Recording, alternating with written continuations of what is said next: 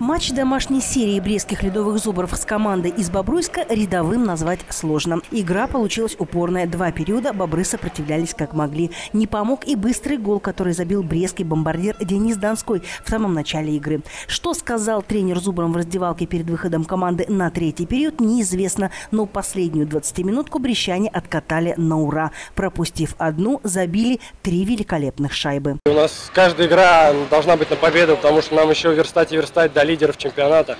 А у нас задача это в двойку как минимум. Все команды сложные, потому что они настраиваются на нас, как тем более, да, они охот, им охота укусить лишний раз, показать, на что они, как бы, что они стоят. Им тоже охота играть в лучших условиях. Поэтому каждая команда, когда настраивается, она сильна, как бы. Если не донастроишься, то у тебя всегда будут проблемы и по счету, и по, по самой игре. Для Бреста матч стал шестым в беспроигрышной серии, поэтому Блицкрик Зубров в третьем периоде, если не выбил из колеи бобруйчан, то заставил наставника Бобров Василия Панкова в очередной раз делать работу над ошибками. Впрочем, Бресту тоже рано почивать на лаврах. Хороший матч, но нам не хватило уже которая игра очередная исполнителей нету мастерства. Моменты создаем, но забить, к сожалению, не можем. Ну и вратарь тоже.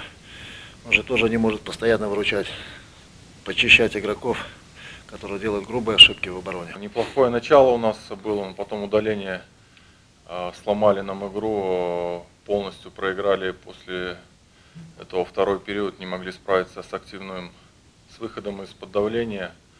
А, ну, спасибо вратарю, здорово он нас выручал. Сейчас, после победы со счетом 4-1, брещане в турнирной таблице занимают третью строчку, пропустив вперед Могилевских Львов и Аршанский Локомотив. Впереди у команды десятидневные каникулы и важная выездная серия.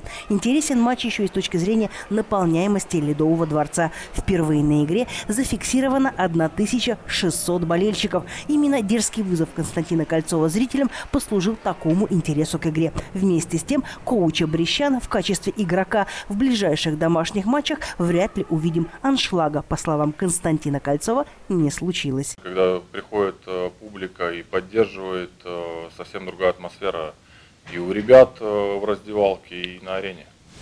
Что касается, касается вашего обещания? Ну, аншлаг же не получилось.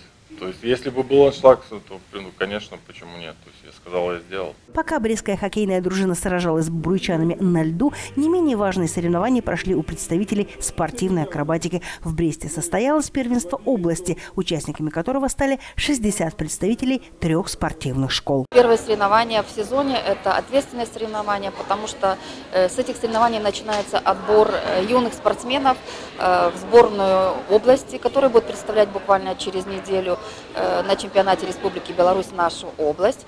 А дальше будут представлять, надеемся, на международных стартах. У нас представлены все виды 5 э, акробатики. Это смешанные пары, женские пары, мужские пары, женские группы и мужские группы. А возраст у нас э, с 10 лет и старше.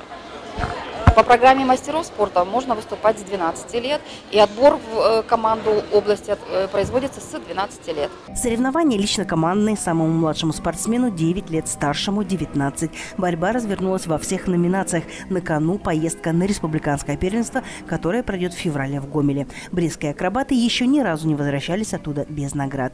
Барановичская и Брестская школы спортивной акробатики традиционно считаются одними из самых сильных в стране. Это резерв. В конце года в Израиле пройдет чемпионат Европы среди юниоров.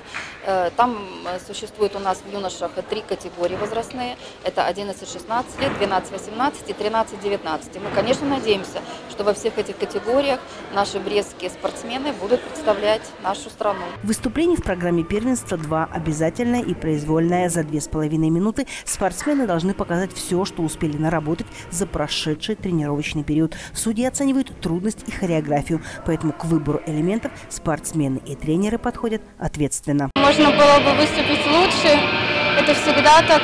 Ну, в принципе, ничего не упали, но ошибки мелкие есть всегда. Вот, и так, ну, нормально выступили, более-менее нормально. Сейчас мы себя чувствуем более уверенно, потому что мы тут на этих соревнованиях, считай, самые взрослые. Вот. А в дальнейшем соревновании то конкуренция будет намного больше. Ирина Альшова, Павел Малашонок, Григорий Пекарский, Антон Луговкин, телекомпания Бог ТВ.